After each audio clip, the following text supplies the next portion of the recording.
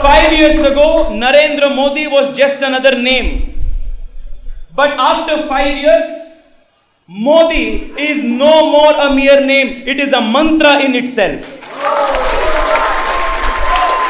Five years ago, the Prime Minister had promised to all of us,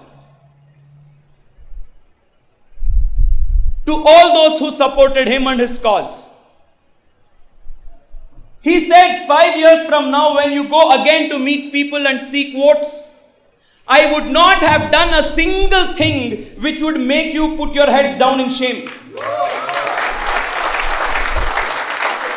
He has not only lived up to his commitment, but the Prime Minister has also made us go to people with our chest filled with pride that we are supporters of a great patriot like the Prime Minister.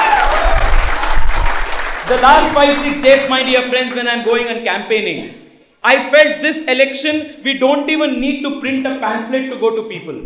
Because people already know what the Prime Minister has done. All we need to do is, when I'm going and meeting people on the streets, even the people who I don't know, all I'm saying is Modi. And the moment I say Modi, people either wish me good luck, people say victory, people smile because Modi today means the aspirations of 100 crore people. It means the voice of 60 crore young people. It means a rising India. It means a corrupt free India. It means an India that talks like a superpower. It means an India which is a rising giant.